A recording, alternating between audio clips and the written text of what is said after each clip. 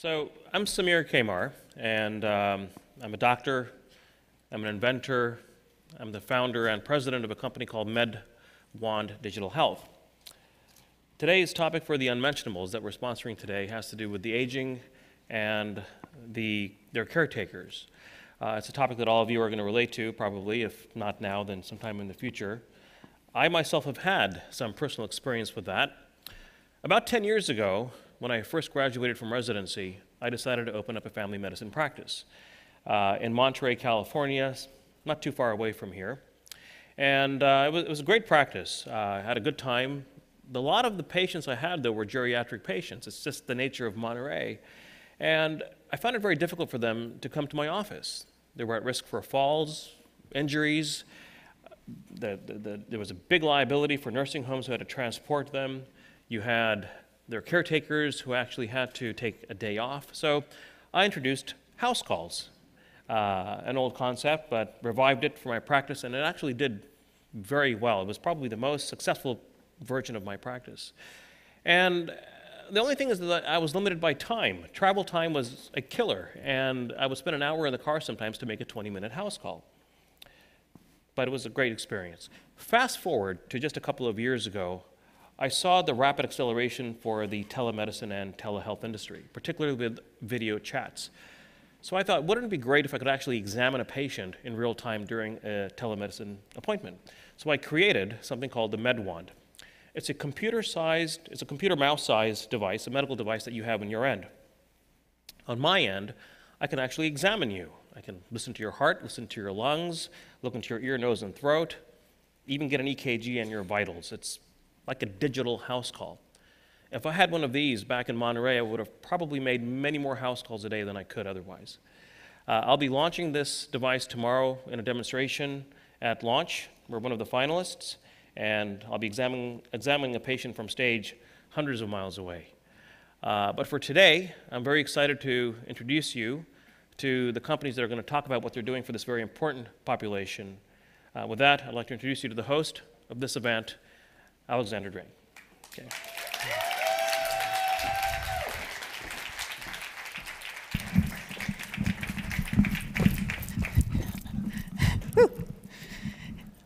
So, I have to start by acknowledging that this is the first year that we will be doing the Unmentionables panel without the extraordinary Susannah Fox.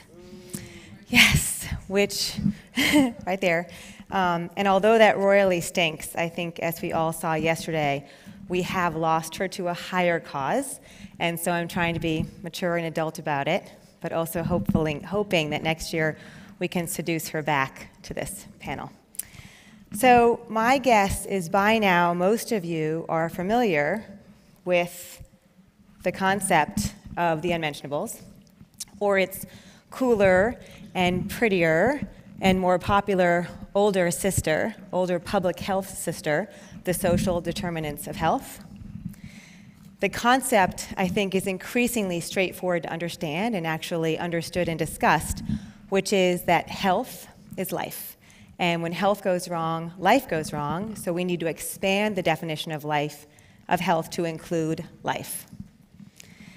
I think in many ways we are ignoring the most fundamental drivers, or some of the most important fundamental drivers of what drives health, which is if you're worried that your partner is cheating on you, if your mother with Alzheimer's just moved in, and if increasingly the only answer that you can find is at the bottom of a glass or the bottom of a bottle, are you really worrying about your heart health?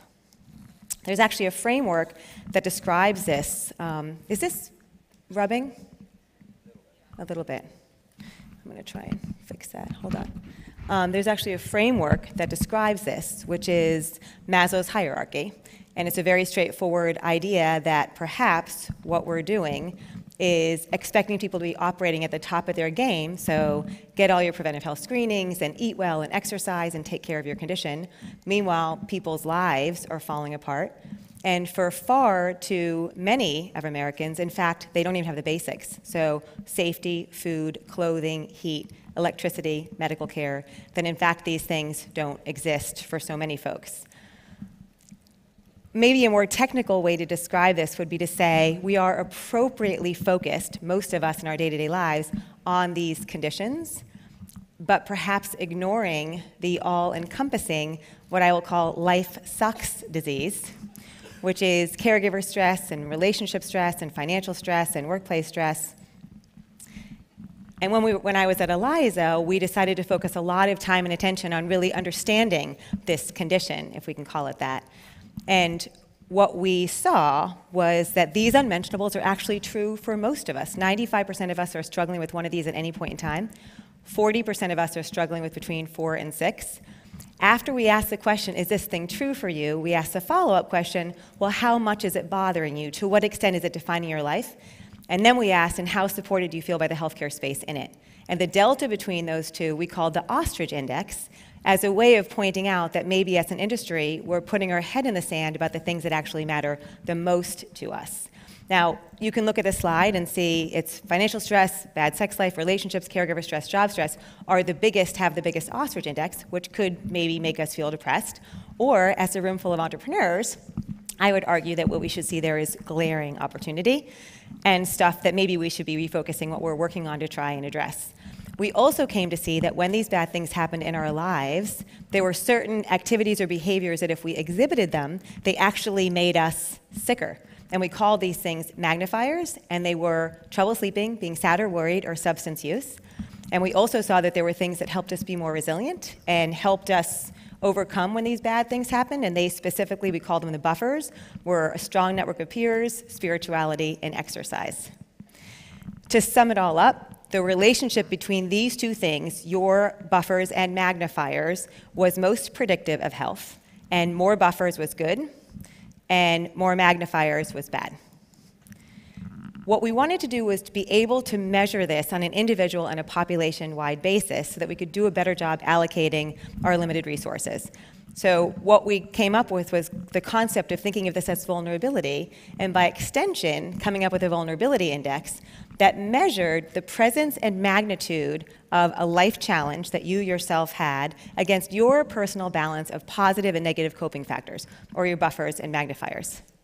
And then we rolled this out across large populations. And when we did, what we saw was that if you were highly vulnerable, controlling for age and gender, you were 2.6 times as likely to have diabetes, you were 2.9 times as likely to be experiencing back pain, you were five times as likely to be experiencing behavioral health issues, and you were costing the system five times as much. When we got started in this whole space, I think we felt like we were dancing a little bit to our own tune. But as we dig, dug into it more, what we recognize is, in fact, not at all. There's a whole cadre of people who've been working, toiling tirelessly and tirelessly in this space for a long time. I'll just call out the Kaiser Permanente ACEs study, Adverse Childhood Experiences study, which was recently just corroborated. And over time, I think more and more folks have been coming into this space to the extent that we could now argue, perhaps finally, this is a, a, a thing whose time has come the headlines in the last six to 12 months alone on the unmentionables or on the social determinants of health are stunning.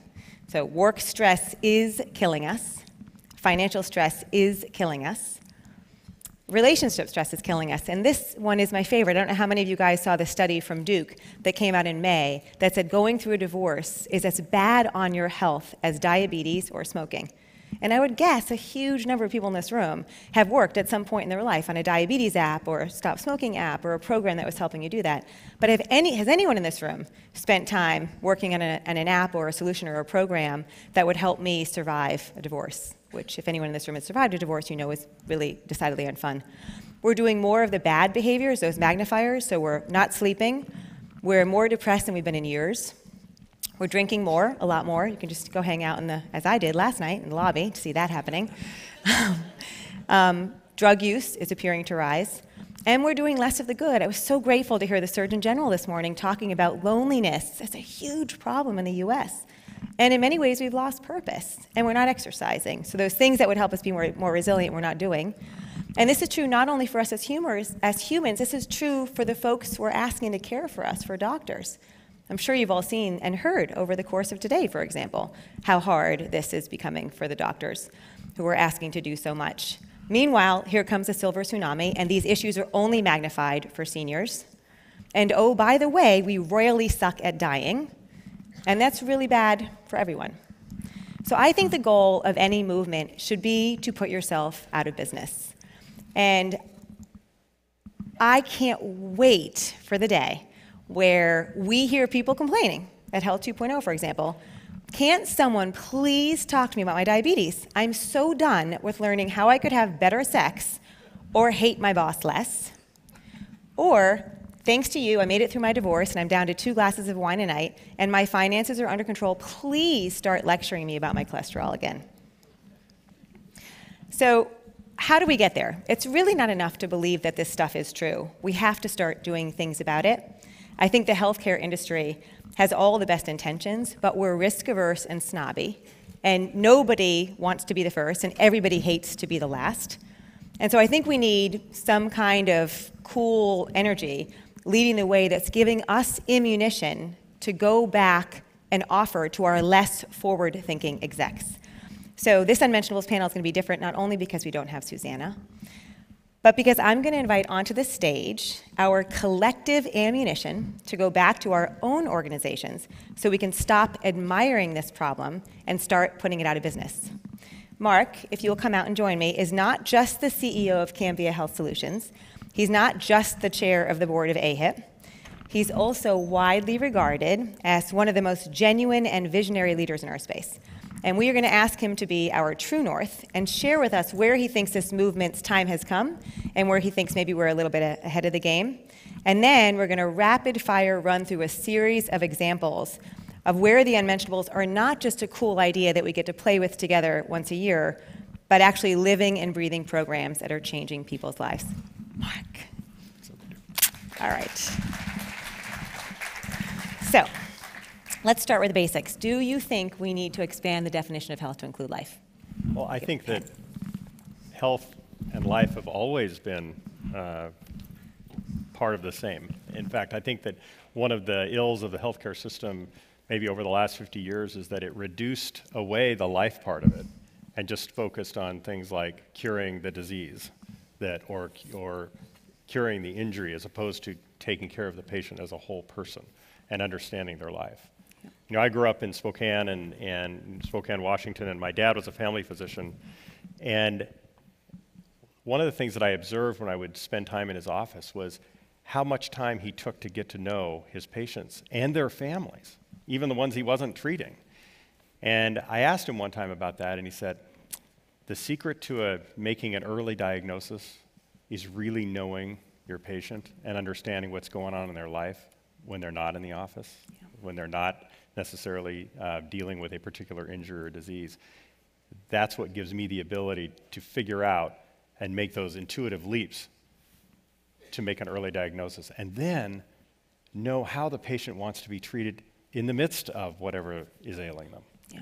at the end of the day, it's always about the entire person and their life. Well, so earlier when we were, were talking this through, um, you made a statement that I loved that about passion leading to courage. Can you share a little bit with this crowd what, what you meant by that? Yeah, I mean, uh, to me, when we think about unmentionables, I think that there, a big unmentionable in our industry is that there isn't enough, there aren't enough people with enough passion and courage to move beyond the brokenness of the current system and, and, and stop feasting on it and coming up with ideas that appear to be innovations but really aren't. Uh, they're just about following the money. They're just about trying to stick their cannula into the big stream of money that's going by and turn it toward them a little bit. And they call it innovation. Um, there's nothing daring or courageous or noble about buying a pharmaceutical company and then jacking the price up of a 60 year old drug. Um, you know, there's nothing noble or daring about figuring out how to milk the system uh, you know, that's, that's not functioning well for individuals and their families, but milking it because that's, you know, that's good for me and I've got this little way to help a hospital make more money or a health plan make more money or be more efficient. I don't, I, I think what I'm excited about today is that you all are going to be in, treated to a series of people who I've gotten to know just recently who are really doing something different. They're really trying to change the system. And, you know, I, I, I, the overused term of disrupt, but they're going toward people. And so, one of the things that has always inspired me with our company is, you know, when our company was founded 98 years ago, the people didn't know what, that they were even creating a company. They were in the timber industry in Tacoma, Washington, and they were seeing people get injured and becoming destitute and not knowing how to help them other than like bring a meal over to their house. And so they literally got together and said, What if we pool a portion of our weekly wages and put it into a common fund? They didn't know they were creating a company, they just were solving a problem. They were dealing with people. Yeah. And I think that's today we have the same kinds of issues or new issues that demand that kind of innovation. So I think we are finally seeing, seeing a lot of evidence in the literature about the importance of the role that purpose plays in our health. Yeah. Specifically, um, people with a clear sense of purpose are happier, they sleep better, they're more likely to avoid illnesses like Alzheimer's. It's even associated with living longer. What I have so enjoyed about spending time with you is it is so clear to hear you speak how much purpose you have, what a sense of clarity you have around what you're trying to do. Can you quickly share with this crowd how do you help infuse the people who are working with you um, with that same clarity? It's the relentless pursuit of their hearts, is what I would say. Uh, it's, it's not speaking to their minds. It's not acting from, you know, I, I assume that everyone that works for our company, or at least most, maybe myself accepted, are really pretty smart people. But they're spending most of their waking hours working. And to me, it would be, a, it's a shame if they're not infused with a sense of passion about what they're doing and how they're, you know, and that what they're doing is for something larger than themselves, that it's really for others. So I remind them about how our company started. I remind them that, you know, it's not about protecting a business model or a revenue model, it's about serving people and it's about changing and transforming their lives. And that really does infuse a sense of purpose uh, in the company, which I think you know is it's been amazing to, to watch an old company uh, become new again. Well, and I think what many of the entrepreneurs in the room who know you as an investor, since Cambia does invest in things that are aligned with their purpose, have had a chance to, to feel that also. Um, what I'm going to do now is um, bring out, we're going to dig in on the concept of caregiver stress. Many of us in this room actually know Chira Bell, who has dedicated a huge amount of time to validating and supporting caregivers. There, I, I, for one, was less familiar with the company SeniorLink that has been around for close to 10 years now um, and has a, an extremely impressive revenue number, which I will let Bill share with you. I'm going to invite him out here. Um, he is one of the extraordinary souls who's helping to make that possible, and he is the EVP and Chief Development Officer. Bill. I didn't say the number, but I didn't know if you would. I think you should. Oh, yeah. I'll need the, Yes. thank you.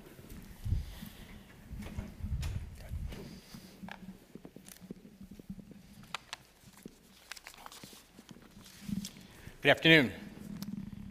First, I'd like to thank Indu and Matthew from Health 2.0 and Alex Drane, our Unmentionables resident instigator, for putting the topic of caregiving on today's agenda.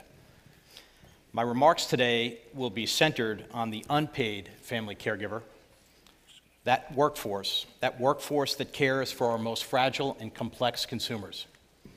I am a caregiver. Many of you in the room are caregivers. You know what I'm talking about. There are 66 million of us, 45 million caring for somebody over the age of 50. This commitment is not casual comes with great personal cost and sacrifice, and it is the most rewarding work we do. We do not submit claims for our work, so there has been very little data on the size and complexity of our workload. Our work is now estimated to total over $500 billion a year. To put that in context, the market size for government and private pay long term care is estimated to be $225 billion a year, less than half the workload of the family caregiver.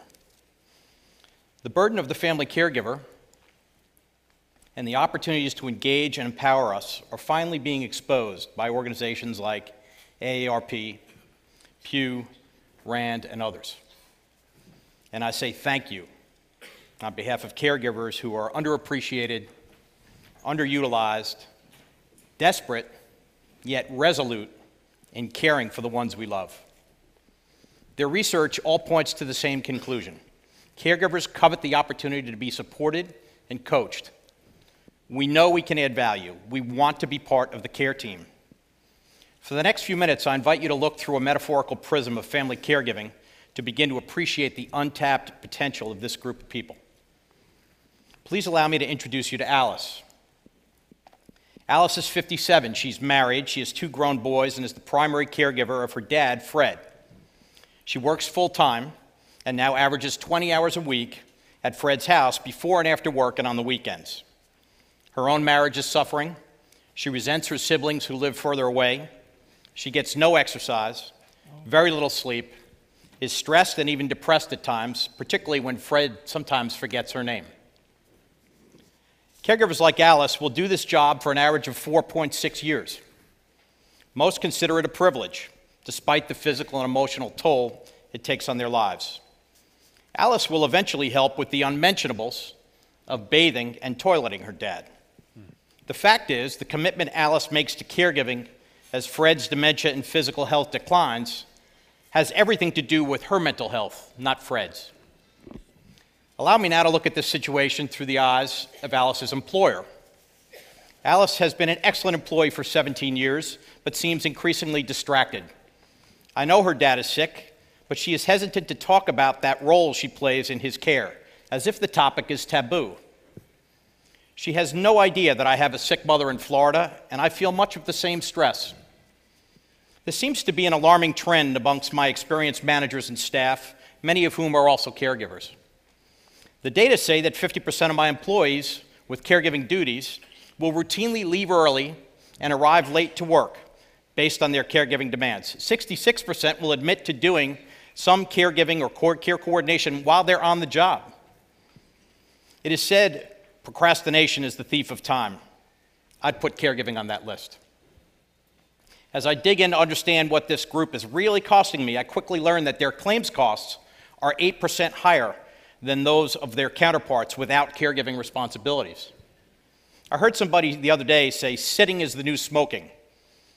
I would submit to you that caregiving is the new smoking. I offer wellness programs that include smoking cessation. It is time I support my employees with their caregiving duties. Let's spend a minute looking at Alice's impact on Fred's cost and quality of outcomes. First, how does the medical delivery system leverage Fred's trust in Alex and her proximity to his home? She knows his diseases, how they affect him day to day, his medications, and his behaviors better than anyone. She is re- ready and willing to learn new skills. She wants to be trained to do more, to monitor. How do I take advantage of Alice's skills? I am now at risk for Fred. I'm challenged by the cost of nurses and coaches assigned to my most fragile consumers as I execute my case management model. I need to invest in Alice. How do I engage her? How do I empower her? Alice is my predictive model. We should all care about caregiving. I think it's safe to say that at 2.0, Health 2.0, we all quietly wonder when we'll have an honest, action oriented conversation about the solvency of Medicare and Medicaid. I was thrilled to hear Susannah Fox's commitment to innovation inside HHS yesterday. The migration to fee for value from fee for service is a monumental step forward in aligning resources with outcomes. To that end, we've all listened to discussions over the last two days promoting engagement and coaching. We're all looking to utilize low cost labor to minimize and eliminate predictable, preventable complications in our most chronically ill members. Alice could cost you nothing, and she has the highest level of trust with Fred. How do we put her to work for the outcomes we want and Alice want? We share the same objective. Let me spend the last minute here on SeniorLink. SeniorLink is a company started in 2005. We've been serving family caregivers with a desire to keep their loved ones at home. In our caregiver home subsidiary, much like Airbnb and Uber, we have leveraged excess capacity in the form of housing stock and aligned caregivers to create the largest virtual nursing home in the country. We currently operate in six states and will open our seventh in Q4. Every one of our consumers is nursing home eligible. We operate this model for approximately 50% of the cost of a nursing home bed. The model for this is a combination of caregiver collaboration technology provided to each family, custom caregiver content, and professional case management services deployed in the home. We will collect 1 million caregiver generated data assets this year. We will conduct 6,000 face to face caregiver interviews next month. Our SeniorLink Technology subsidiary leverages the analytics, algorithms, and content assets from caregiver homes. In December of 2014, we acquired a caregiver collaboration platform from Bell Labs.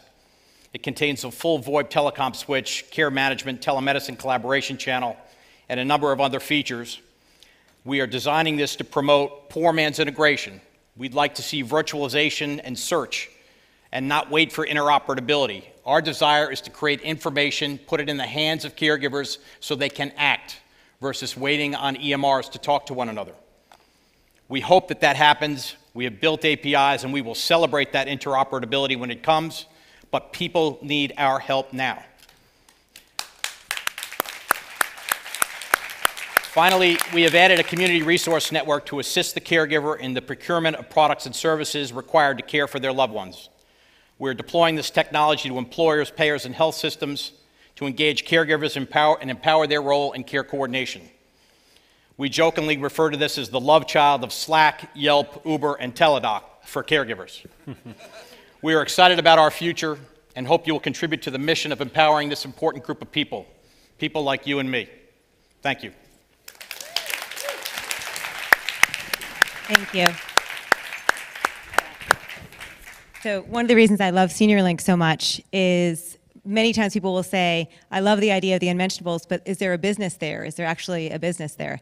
And what I think he's demonstrating, and if you can find him at the cocktail hour and ply him with alcohol, maybe he will actually share with you the extent to which there is a business here. So Mark, I want to ask you this question quickly. Um, I'm thinking on everything that Bill just shared. And there are facts like in New York, for example, unpaid caregivers provide 90% of long term care for the old and disabled, for those lucky enough to have a caregiver. Do you see this as a growing crisis? I think it's an opportunity, and I think you see it as an opportunity as well. I mean, I, I think about it and think, what if all of those caregivers were, um, you know, were, were professionalized and were being paid? Can you imagine what it would do to our healthcare system that's already um, suffering under the weight? They, these are hidden heroes. They're doing amazing work. I, I, saw it in my own family when my dad was sick, and my mom was his caregiver, and to a lesser extent, a couple of my sisters. And it was, it was incredibly hard work, and it was lonely work. Um, so, yes, I think there's a great opportunity here for innovation. But, but I, I, if it just stays where it is, then it will be a crisis someday. I would agree. So thank you. Thank you very thank much. thank you. So what I'm going to do now, um, caregiving, I think we'd all agree, is a great example of an unmentionable that is coming into its own. And what used to be a category that was relentlessly pursued by so few is truly gaining momentum. And there may be no better proof point to that, specifically in the area of home care, than Honor, which is the darling of Silicon Valley. And next up, we have the great honor of Seth Sternberg, who is the founder and CEO. Seth. Thank you. Thank you very much. Thanks. Well, so I'm Seth, and I'm from Honor. I'm going to talk to you a little bit about what we've been doing and uh, hopefully how we can really fix this problem of caregiving for our parents. So I want to start with a story. So this is my mom. And I flew to Connecticut, which is where I'm from, and she picked me up at the airport. She's driving me home, and she's driving a little bit slower than she normally drives. And I, I said to my mom, I was like, hey, Mom, why, why are you driving a little bit slower? And she said, Well, driving's just a little bit harder than it used to be. And that completely freaked me out, right? I'm like, Ooh, you know, my mom lives in Connecticut, I live in California. How would I take care of her? How would I help her do what she wants, which is stay in her home? Because the worst thing in the world for my mother would be to have to leave her home. And I did some research and I found out that we are in the same place now, 20 years later, right? That's me with my grandmother, right? When, when I kind of went through my grandmother growing older, nothing's changed. It's still really hard to help my mom stay in her home. And if you look at it, we actually have shrinking families. So there are less kids to take care of our parents as they age. And those kids are moving into really expensive, really tiny apartments in big cities. So who is going to take care of our parents? Right? So we said, how can we fix this problem? What can we do about it? And when we looked into it, it's like, okay, well, if you want your mom, if you want your dad to be able to stay in their home that they love as they age, right? And 90% of seniors self report that they want to stay at home as they age. Think about your own self. Would you want to be forced out of your home as you're getting older? Of course not. Well, you need to help people with basic things like getting out of bed, right? Or getting food, or transportation, or remembering to take your medicine, right? Basic things that actually keep you, to the point you guys were making, happy and healthy, right? And so, what we've decided to do with Honor is completely remake what's called private duty home care. This is where someone comes into your home and helps your mom with things like taking medicine or getting out of bed or bathing, right? Things that are critical to be able to do to stay in your home. Now, we've been live for 120 days. And we've learned some really interesting lessons in the San Francisco Bay Area as we've now been providing care to people in their homes and help working with their families. And I want to talk about those and the approach. So, first off, when we created Honor, we decided that we were going to focus not just on the seniors, but also on the supports of the seniors, right? The care pros and the adult children, the family. Because if they're not in a good place, it's very hard for the senior to be in a good place. And so the first thing that we heard from people when we were thinking about honor, they said, well, caregivers, the, the care pros, you know, the people who are paid to go into people's homes, they're untenable right? You're never going to be able to get them to be able to go to people's homes, show up on time. You're, this is just a bad idea. Don't do honor. But we interviewed the care pros, and this is Alex. She's a care pro on Honor's platform, and they all said, "We want to be treated like the professionals that we are. We care for the elders in our society. Treat us like professionals." And the thing is, is that we haven't been treating them like professionals, right? 70% of the care pros are in households that are within 200% of the poverty line. 56% are on government assistance. So if that's the way we treat the people who care for our elderly, then we are not treating our elderly well. And so what we've done for the care pros in honor is first and foremost, we've given them tools that they need to do a great job. And as they've gone out and started to work with seniors, number one thing we've heard is that you guys are giving me the tools I need to succeed. And that's things like information about the senior before they ever walk into the home, a profile on the person, and not just what their medical condition is, but who is this person? What was their profession? What was their proudest moment in life? Right? So that you can relate to the elder as a person, not just as someone who needs help. Fair pay. If we're paying care pros you know, 950 an hour on average, that, that's not so great. On Honor, we're able to pay them $17 an hour, right, in the San Francisco Bay Area, which is where we're currently operating. And we do that because we're using technology, right, on the, in the background to be more efficient, and then we can direct more dollars at the care pros, and freedom to set their own schedules, right? So give these people the ability to be the professionals that they are. And then for the families, how do you support the families, right? Well, if you look at the kind of psychological aspects of the families caring for their parents, they feel guilty and they feel out of control. Okay, so we created an app, you can go download it in the App Store if you'd like to, that, that gives them visibility, gives them control, lets them schedule care, right? Shows them a note of who came over, right? You know, Viviana came to your mom's home. This is what she did today. Here's a note that she wrote you to give you access to what's happening in your mom's home, right? Visibility and control.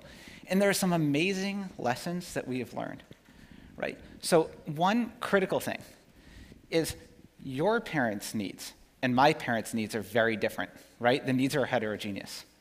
But if you use tech to match the capabilities of a care professional with the needs of our parents, you can do incredible things, especially at scale, like someone's parent who might need someone who speaks Mandarin, who has cats in the house, so the care pro cannot be allergic to cats, who also has dementia training. And then importantly, when that person's sick one day, you can get a perfect backfill.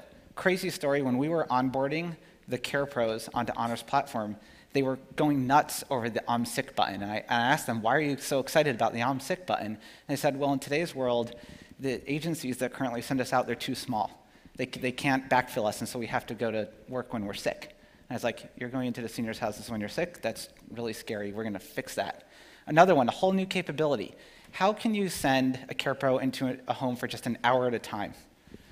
$25 an hour, our normal charge, paying the CarePro 17 turns out not to cut it.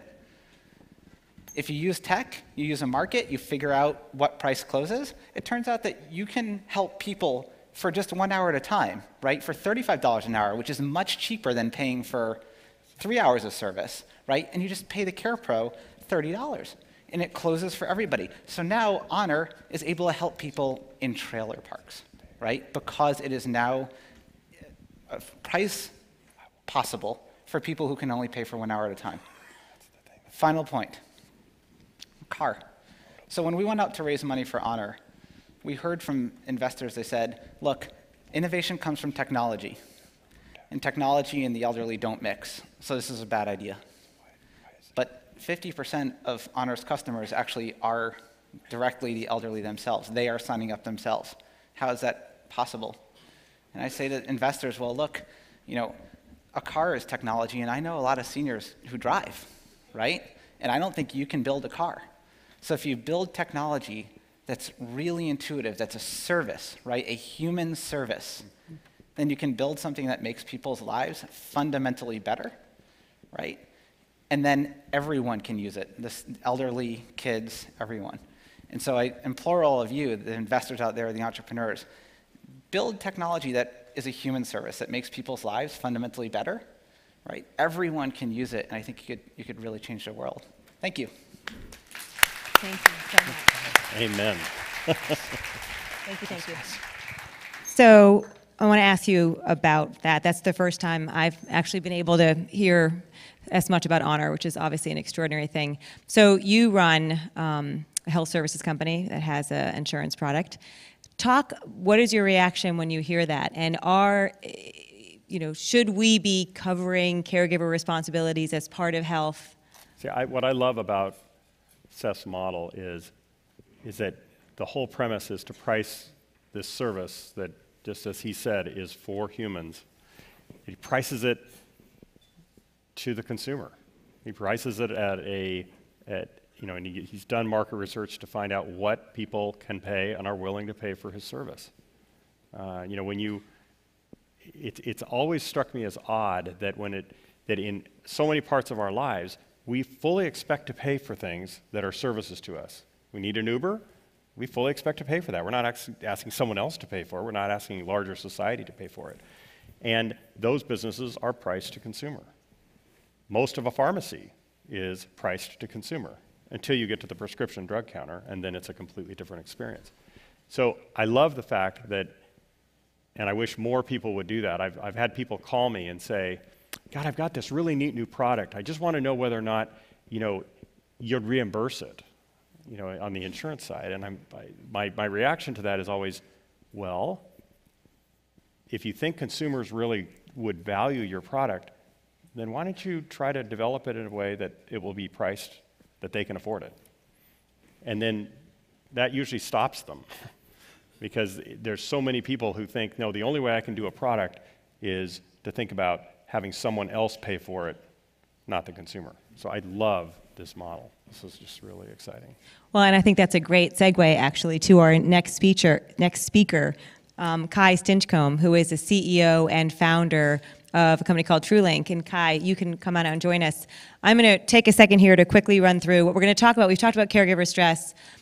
We most of us are familiar with the notion of financial stress. I want to talk about the superstorm that is the you know, sort of caregiver stress meets financial stress in the form of financial fraud and abuse of seniors. And Kai, if you come out here quickly, um, Kai actually did a, a report when he originally got started in this space, he experienced on his own just the overwhelming response people had to how big of a problem this was. So some of you might be in the audience thinking, is this really an issue? I mean, how big is this issue? Is it a superstorm? Are you exaggerating? So MetLife back in 2011 did a study that returned a number that the size of financial fraud and abuse of seniors was $2.9 billion. Big enough that it was called the crime of the 21st century. So one of the things that I love about Kai is as he went out and heard people saying, This is true for me, that's true for me, that's true for me, he kept thinking in his head, Well, then there's no way that it, that's, that's the only size that it is. So he went back and he looked at the survey tool that MetLife had used, and what he identified is what we see a lot in the healthcare space, which is the questions themselves to get people to admit that these things were true for them were shaming. They were shaming questions. It was basically saying, Are you an idiot? Were you conned? To which most self respecting individuals would say, Oh my God, no, of course not. That didn't happen to me. So they did their own survey where they were asking questions in a way that people would admit what had actually happened. And in fact, the size of the market is not $2.9 billion. No, it's $36.48 billion, 12 times the size.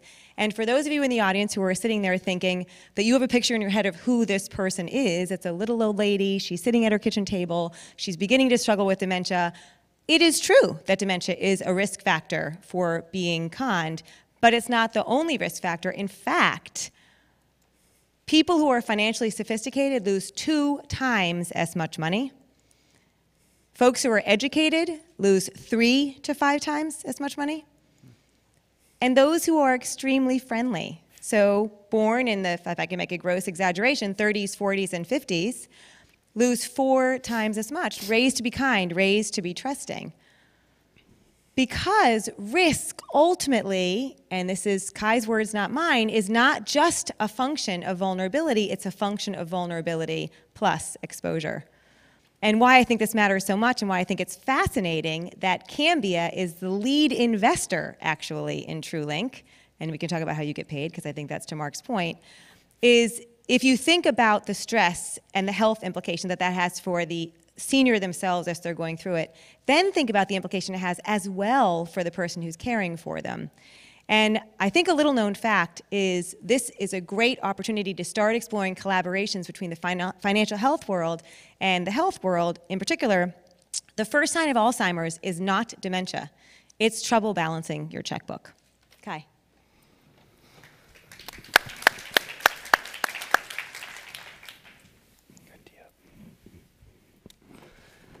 Seven years ago, my family had an oh shit moment. My dad was getting old.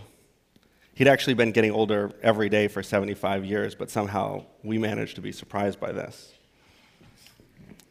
So he wasn't surprised, though. When we flew home for a family meeting, he told me that he had just three things left that he wanted to do before he died. Wow. I asked what were they, and he said he couldn't tell me. Wow, again. I asked why he couldn't tell me, and he said every time he got one of them done, he would take it off his list and put in a new one. wow, a third time. Look to your left and look to your right, if you will. Consider that the people you just looked at will accomplish only a finite number of things before they die. Consider that they just looked at you. Aging is a humiliating thing. You might lose all of your capacities at once, or you might lose them one by one, but you will lose them. And losing your capacities is humiliating. Humiliating. At the peak of his career, my dad asked them to move him from the corner office to the one upstairs underneath the staircase because he knew that eventually his research wouldn't be good enough to merit the corner office, and he didn't want them to have to come and tell him that humiliation, humility. Today, you're going to get to know my family. This is my grandmother, Ruth. When she was 80, she lost the ability, like so many people, to form new long term memories. So she cooks her own food, buys new clothes and mends her old ones, goes to the movies, gets ice cream, gets pizza. She just can't remember things that happened an hour ago. And in particular, she can't remember when she made her last charitable contribution. And so if you call her at 10 a.m. and persuade her to donate to your charitable cause, you can call her an hour later and say the exact same words, and she'll do the exact same thing. She'll donate again. My grandma can't afford to donate $20 an hour to charity. She's living in Indianapolis on a retired school teacher pension. My mom was at her wits' end. I said to my mom, why don't you just be more assertive with the bank? I'm sure there's something they can do about this. Why don't you just? Let me say this about the family caregiver. If you ask them, why don't you just, you're probably underestimating how complex the situation is and may even be in danger of being a jerk. Why don't you just be more assertive with the bank? I said. Here's what the bank told my mom and then me. They said, It sounds like Ruth is having trouble managing her money. Have you thought about taking away her credit card and her checkbook? Think about that. Think about what her life would be like without the ability to spend her own money. A checkbook is like a car. You point it in whatever direction you choose, you push down the gas pedal, and that's how fast it will go. A person with impaired vision can't safely drive a car. A person with impaired memory can't safely drive a checkbook. And if you think about how many services there are to support seniors who have lost their mobility, the ability to drive, my family was very surprised to discover that there are no services to protect seniors' financial mobility. Incidentally, this is what my company TrueLink does. We've developed the TrueLink card, which is a credit card that can be safely driven by somebody with any level of ability. People think of independence as not needing any support, but in fact, independence is having the support you need. A good tool for seniors becomes part of their support system. So, getting to know my family, this is my mom, the person I admire most in the world. She's overworked. She's also a college professor. She's overworked uh, at the job. She was department chair and then director of graduate studies. She's the only person that reads the hiring committee files. She has to go through seven institutional review boards for her work. She never submits her expense reports. Um, one year, she actually decided to forego a salary so that she would have enough time to, uh, to do her job. And, and, you know, it's just one thing after another. When I dropped out of grad school to start my first company. She's the one that paid my health insurance. When my half brother lost his job at Ford with NAFTA and started drinking, she's the one that drives him to his meetings. She drives my dad to his physical therapy. She drives to Indianapolis every six weeks when the new checkbooks have come in the mail from the bank and swipes my grandma's checkbook so that she doesn't donate to more charities. You talk about patient centered medicine. Be careful what you wish for. This is your patient. So let's talk about you know, some of the things that you might be doing. You send her a text message. Why don't you just pop by the pharmacy? Why don't you just? Well, her own health is the last thing on her mind. You send her a letter. Why don't you just schedule your annual? She's taking care of my mom, uh, her mom, my father. She's just trying to get through her day. Okay, let's think outside the box. Let's talk about her stress, holistic, holistic wellness. Let's send her a gift certificate for a massage. She's not even going to schedule the massage, and if she does, she's going to miss her appointment. It's one more thing on her to do list for her to feel bad about. So, how do you take care of this person, my mom, your, your patient? We offer four pieces of advice. One, we have to get serious about caregiver services. You can't take care of my mom unless you take care of her family. Two, you can't offer her a menu because she's not going to do her research.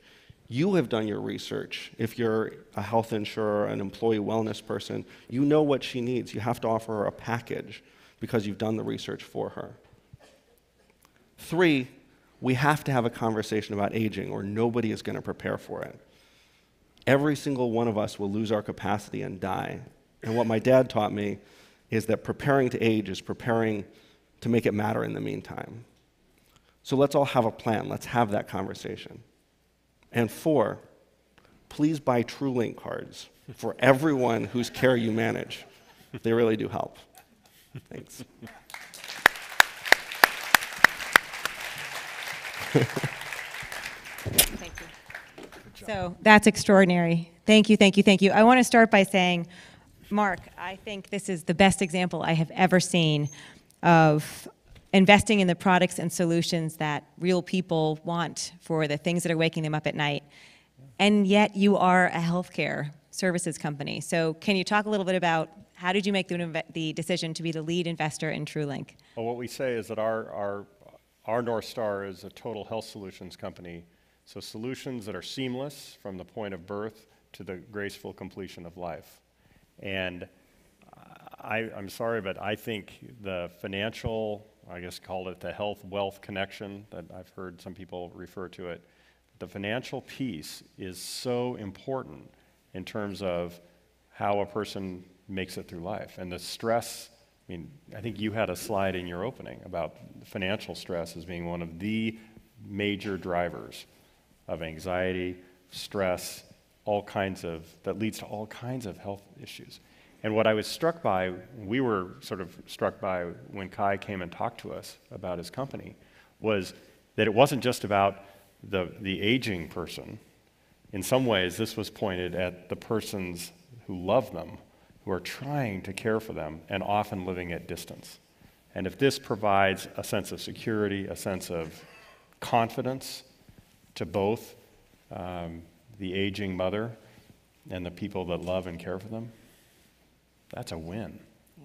Well, and I know you know the statistics that caregivers have twice the rate of depression, twice the risk of coming down with a chronic condition. It is uh, often isolating, extraordinarily overwhelming task. So to be helping them in something that often feels like a great failure that they care about so much is, is huge. And if you go onto the TrueLink site, and you just really see how it works. It is so easy. It's so it is such an elegant solution. It's very very cool. Well, I think many of us are believers that maybe the single biggest missing ingredient in the healthcare space is empathy. Steve Jobs' true north from a design perspective. We will understand our customers' needs better than anyone else. I think that's a great, what you just described is a great example of using empathy as a, as a true north in design. And so, who we have next is one of the souls that's really bringing the most attention to the idea of using empathy in healthcare, and that's Adrienne Boissy, who is the Chief Experience Officer of Cleveland Clinic. So let's welcome Adrienne. Hi. All right. How are you? Do you have the clicker? So let's be serious. The most unmentionable thing on the stage is the leather unitard that Alex has.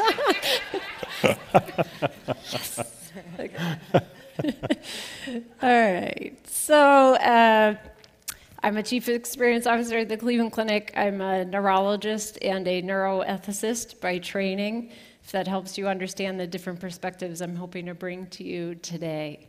So, uh, when I was an intern, I had this experience where I was caring for this young woman and I didn't know anything. And I got to know her over the course of like a week or two, and we connected.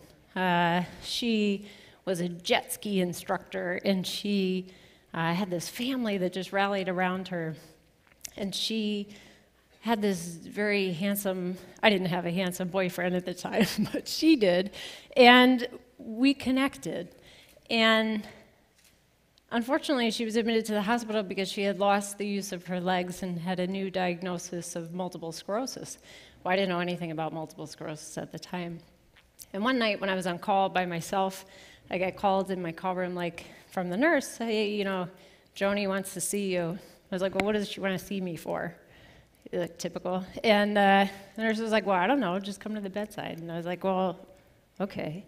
Um, and so I went to my call room because I figured, of course, she's going to ask me questions about MS, and I wasn't going to know any of the answers.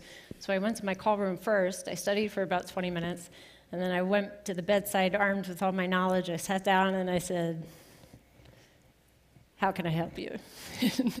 and she said, I was wondering whether or not you thought I should marry my boyfriend so that when I lose the use of my legs, I could have somebody to take care of me.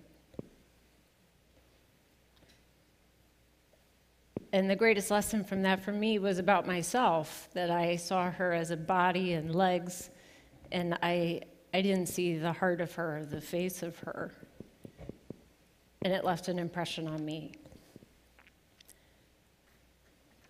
Patients are not customers, and you may yank me off stage right away when I say that. But if you have searing chest pain because your aorta is dissecting and we rush you to the ER and take care of you, you're not a customer. And if you're someone coming to see me in my clinic you are not a customer. And if you are a customer, you're the most reluctant customer I ever met because nobody wants to come see me because I'm a multiple sclerosis specialist. People are not banging down my door for my service. And if we do think of them as customers, then what does that make me? Am I a provider of service? And what service? Like prescriptions or information? And there's discomfort there for me because I always thought of myself as a healer, actually. I always found me meaning in trying to reduce suffering when I saw it. And so it gives me discomfort. Suffering is a word we don't mention, and it has changed the scope of my career. And I don't know how it lands on you when I say it suffering. Does it make you feel uncomfortable? Do you lean into it, as they say? And it's really important to understand because if we're not talking about suffering, we can never talk about the empathy and compassion that are required to ease it. And I heard words at this conference around well being and health and isolation. And to me, those are about suffering. And we suffer, you heard several cases of how our patients suffer in innumerable ways, some avoidable and some unavoidable suffering. And you heard cases of how our clinicians are suffering. And in brief snippet of my own sort of experiences, I give everything I have to my job. I believe deeply in it. And at the same time, I go home, and my parents are now living with us temporarily. because They live in Virginia and can't get what they deem great care currently. And he's dying of a second cancer while he's in renal failure and just bled into his head. And my mom is watching this for the second time because my father died of the same cancer. So, how do I take care of her? How do I take care of me? How do I take care of the patients I serve in the organization I am responsible for? And it's not just me, right? This went viral last year, this picture of suffering in one of our physicians who just lost a 19 year old patient in the ER. And I guess I would just submit to you that there aren't many places for this to go for care, we call them caregivers, staff and employees, caregivers, right now. Quickly, we live in an environment where patient experience is talked about a lot, but we don't talk about patient experience, we talk about patient satisfaction in healthcare today across the country. Why? Because the government is paying for patient satisfaction performance. You should know that. Patient satisfaction, in my mind, does not equal patient experience. They're not the same thing. And yet we talk about them all the time like they are. We have about a decade's worth of data that we looked at when we started thinking about experience across our organization and developed a mantra of patients first. And what that looks like is access. So we have 80 million ways to find us anytime, anywhere. We have online visits. We've created stroke mobiles to bring care to patients. We've gone transparent with our data of how you can identify a clinician. But the most important effort we ever made was deciding that we weren't going to create initiatives around patient satisfaction. We were going to create initiatives about relationships in healthcare because no clinician was ever inspired by beating them up with how bad their patient satisfaction scores were. And so when I said relationships to healthcare providers, take that word back, clinicians, this is what they look like. Some got sleepy, some wondered what the heck I was talking about, some were overwhelmed, some were crabby, and, and some were just plain skeptical. Like, relationships? Like, I'm just clicking. What are you talking about?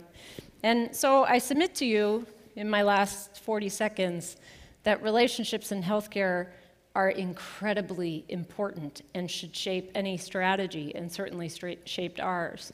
One, the definition in the literature of relationship centered care is about the concept that both people bring value to the table, that there's a emotional component to what we do in healthcare, that we influence each other. Our patients influence me just as much as I hope to possibly influence them, and that there's something therapeutic about relationships. And so when all else fails, it will be the relationship that survived. We trained 44,000 people in experience, talking about their own stories and why they have purpose in their work. We pulled 5,000 clinicians offline and spent time talking about communication as a means of building and fostering relationships. Because in the end, if you're going to be transparent and you're going to highlight patient satisfaction as an organizational goal, which is not my favorite idea, we need to have the, bear the responsibility of making sure we have programs that support our people and success. And to me, relationships of meaning and communication that helps foster that are what will give every single person that we treat a face and a heart. Thank you.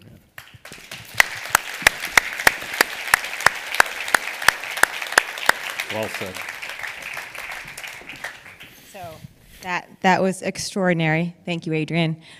Mark, caregiving, caregivers, suffering, empathy, compassion, relationships. I agree with Adrienne. It's about relationships and everything. I mean, there's, it's not, the primary relationship is between the individual patient and their family and whoever is providing service to them. And that's the one that matters the most. But I think uh, what Adrienne talks about is, is also the importance of relationships across and weaving you know, together everyone who is working together to try to create that. I, very moving. Yeah, I think after something like that, you almost just want to say nothing and let that just hang and let us all digest for a second what she said. That was extraordinary. So, some of you might remember when we shared last year that the genesis of the idea for the unmentionables was actually one day I was driving to work late and I saw a man walking on the side of the road holding the hand of a little girl. And I looked at him. I don't know why I was so struck by him. And what I started noticing in my head is I ticked off all of the conditions I was pretty sure he had. You know, diabetes, clearly hypertensive, at risk of a heart attack. And what hit me as I drove by this beautiful little girl, he's holding the hand, he's walking, it's 10:30 in the morning. I realized, oh my gosh, with all the best intentions, my company's going to reach out to this guy and we're going to try and help him. We're going to lecture him about things he needs to do and the medication he needs to take and the tests he's got to get going. And I realized this guy doesn't need a lecture. This guy needs a job. And the first time we said that out loud, and since we've often laughed, like, well, that's ridiculous, the healthcare system, it's a great idea, but no one's ever going to do that. Well, I don't know if that's true. So I want to invite out onto the stage Karin VanZant, who is the Executive Director of Life Services at CareSource and has her own story to share.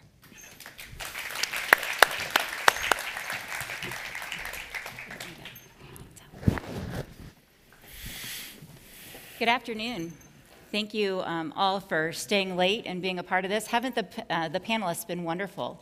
Um, really good information. So I want to talk to you a little bit about um, a topic, as, as Alex said, about um, job creation in the health arena. And I thought the best way to talk about this is to tell you a little bit about my own life. So I'm going to take you back to 1995, the roaring 90s. I was 20 years old. Was a junior in college. I was actually a pre med major um, on the fast track to uh, being an orthopedic surgeon. And um, my husband and I found out that we were pregnant. We were like most um, college students. We didn't have any health insurance. Uh, we had campus jobs. We were taking a lot of credit hours to try and get through that undergrad as quickly as possible. And we didn't know exactly what we were going to do. So we signed up for Medicaid and started preparing for a baby. It was a pretty scary proposition. A lot of the, the folks that I was in school with uh, continued to move forward, and, and I felt stuck. I was a 4.0 student, and I was failing miserably at the welfare system. Now, obviously, things have turned around a little bit. I mean, evidently, I'm up here. They don't just let anybody up on this stage. Um, but what I've spent the last 20 years doing is working in that broken system, that broken welfare system, and working with low income people to figure out all of the complexities that are there. Now, you may be asking yourself, what does that have to do with health? Well, I'm going to pose this simple question to you. If you found out today that you no longer had a job, how would that impact your health? And there have been lots of studies, lots of research that has shown how losing a job whether it's of your own accord or not, can impact significantly your health in a very, very short amount of time. Very short amount of time. So, as I've been working with low income people, many of whom are healthy for the most part, able bodied for the most part, but significantly undereducated and underskilled, one of the things that I've found is that helping them to connect with a sense of purpose, a sense of pride, and specifically a paycheck is the fastest anti poverty program that's out there. In January of this year, CareSource, the largest managed care Medicaid provider in Ohio, decided they were going to do something about workforce development as it pertains to the 1.4 million Medicaid members. They decided that they were going to add a new dimension to their health care services and offer financial and social stability services to those members who were willing and able and motivated to explore what it would look like to get a job. It's been only nine months, so the, the data is, is fairly small comparative to the data that I've been hearing about all day at this conference. But what I can tell you about our members is that when they come voluntarily and when they're connected with the right opportunity, amazing things can happen. Our members are really tapping in to that sense of purpose, the sense of purpose that brings many of us to conferences like this, that sense of purpose about what can we do for the next thing? How can we change tomorrow for ourselves and for others? It's also connecting them to a paycheck and not a minimum wage paycheck. When you do the math for minimum wage, if you're a single parent, the math does not add up. At 40 hours a week, if you can find a minimum wage job at 40 hours a week, not taking any time off for vacation or sick, not taking any time off for your kids, you're bringing home less than $15,000 a year. But you bump that dollar amount up to 12 or $13 an hour, and all of a sudden you're in the $25,000, $20, $27,000 range, and a lot of things can really happen for folks that who are underemployed or unemployed before once they start. And what's different about those employers is that employers that are offering their employees 11, 12, 13, 14 dollars an hour, that's their starting. But they're looking to invest in those employees and keep them moving up the ranks so that in a year or two they're making 15 or 17 dollars an hour. It's interesting what can happen when you work with a 35-year-old who's only ever worked part-time minimum wage and you take all of the effort that she's putting into that job you put her into a 40 hour a week job, has full benefits, has advancement opportunities, and within a very short amount of time, everything about her changes. The way that she talks to her kids change. The way she holds herself change.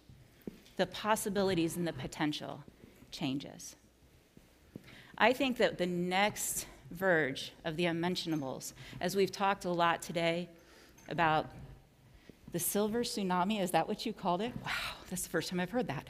I'm definitely not from the healthcare arena, you can tell. Is how are we going to start connecting people as the baby boomers leave the workforce? How are we going to start connecting people to fill those jobs? And then how are we going to support them and encourage them to stay connected to those jobs?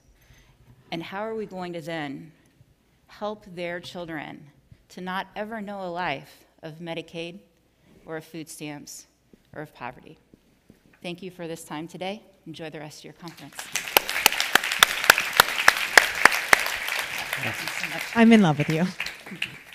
Extraordinary. Thank you so much. So, hmm. what an example, right, of meeting people where they are. Don't lecture me about all the things I should do about my health. Help me get a job. Help me get a job. So before we ask BJ to come out and join us, I want to take a few more minutes to think about this together, and I don't think we can leave Karin and what she just shared without asking you. Karin, Life Services, what say you? Well, I think I love the idea of a, a person coming into a doctor's office and getting a script to go see Karin and, and, and say, part of your healing is going to be we're going to help you get a job. And the idea of creating that connection, I mean, it, it's very much resonant with what we've been talking about today, but um, very innovative. So you have made a career of not just talking about the things that matter the most, um, but are being ignored, but then going ahead and actually taking them on. So, in the spirit of let's put at least this stage of the unmentionables out of business, I would love if you could share with this crowd how you convinced your board to help you take on the issue of advanced care, end of life, palliative care at a time when the issue was considered toxic, if not a third rail. Uh, Well, a lot of what we've done as a company when we started, uh, we were uh, taking on things that people felt were, you know, a waste of time or a waste of money. Uh, And they've turned out to be what everyone is talking about today. Uh, And, and so I think our board was conditioned to that a little bit when I came up with this one. But, you know, we had a conversation about you know, their own parents and the struggles that they had had going through life uh, as their parents were aging, as they were um, maybe fighting the battle, the last battle of their lives. Uh, that often it seemed like it was more of a struggle, that the conversation was much more about the illness and what are we going to do about the illness as opposed to what matters to you? How do you want to live with this illness? What are the, your goals? and focusing on, on the person and realizing that, that healing is not just about effecting a cure, that it's much more so about how the person goes through the illness. So we had that conversation at the management team, and we took that to the board. And the proposal was that we're going to lean into this not as a business proposition. We're going to start with um, within our foundation and it was going to be about how do we change the, the way in which caregivers, hospitals, and the like um, do this work. And, and, and we would invest directly into them to help increase their competency level because it needed to start there. And so we made, uh, have made over the years a series of very significant grants to teams within health systems who were dying to move forward on this, but they didn't have the support of their administration, who didn't believe that it was really valuable. And by, so we invested in them. We brought in a team from UCSF, who was one of the best in the world in this, and we t- helped train them.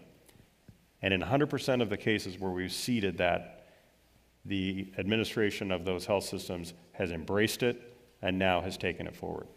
So then, you know, we've done that. Now, now we brought in our health plan, and we're reimbursing for uh, both, you know, in, community-based, not just end of life, because palliative care is something that needs to go hand in hand with curative care.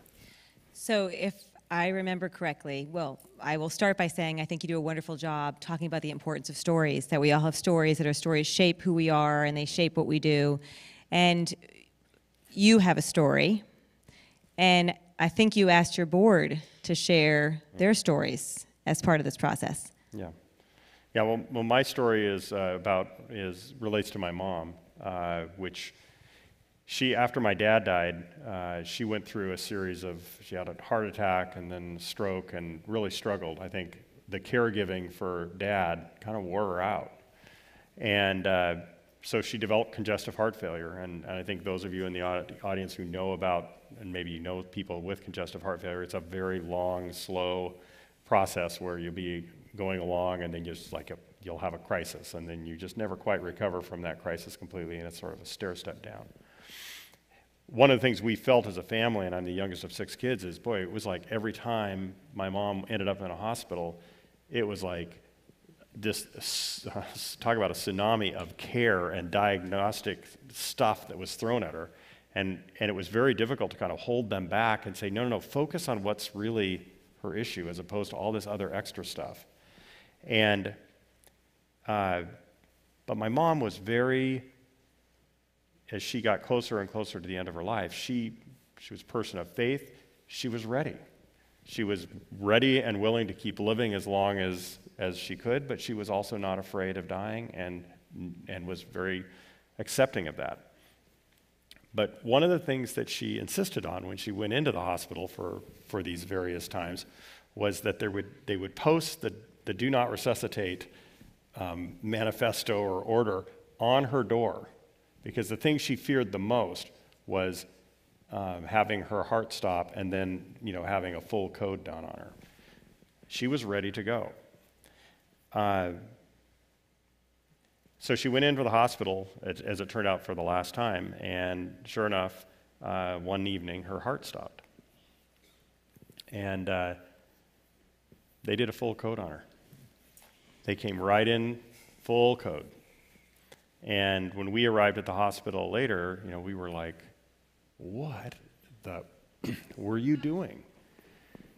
And they hemmed and hawed and, you know, claimed they didn't see the sign. Well, no, it's right on the door. It's also in her chart. And what it really came down to was we didn't want her to die on our shift.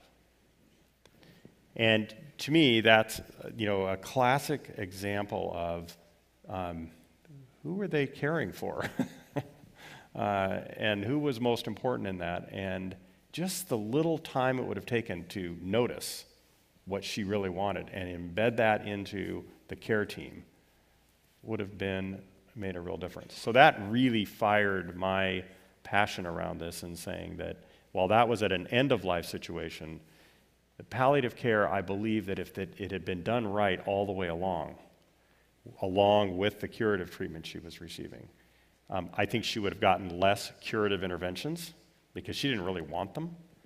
Um, I think the teams would have worked together better, and it surely would not have ended up in that very, very unfortunate end uh, to, of her life. So it's, it's, a, it's a time that, it's an idea that when we really started leaning in, it was radioactive.